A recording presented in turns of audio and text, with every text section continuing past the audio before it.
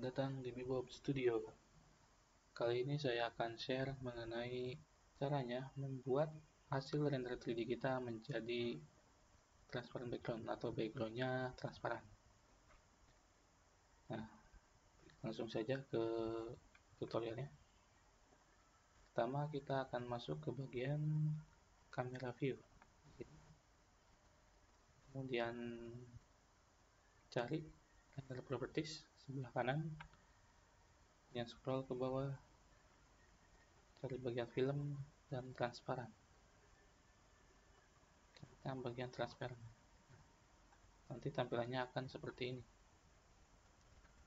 Transparan pada umumnya. Seperti ini. Oke. Kalau sudah kita akan bisa langsung rendernya saja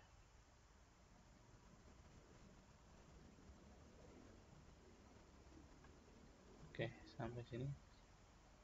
Nah, di sini sudah selesai. Setelah itu kita harus image kemudian save. Nah, di bagian ini bagian file format untuk transparent background kita harus menggunakan file PNG.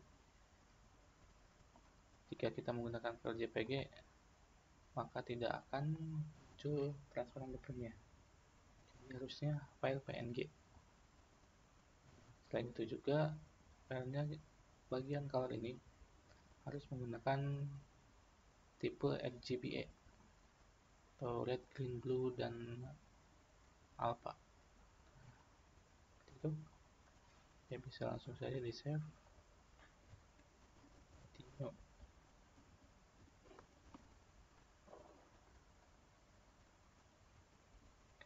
Kita lihat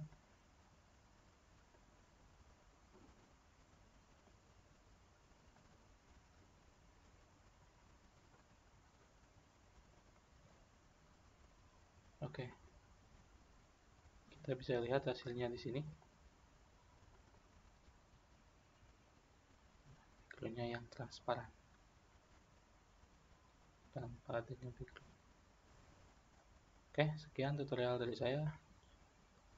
Sampai jumpa di video selanjutnya. Bye.